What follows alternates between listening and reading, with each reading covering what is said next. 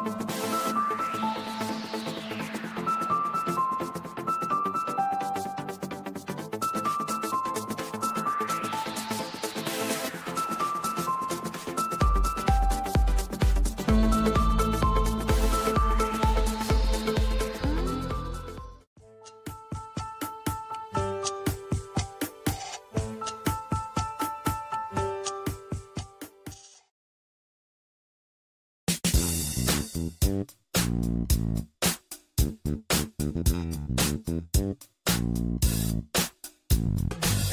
you.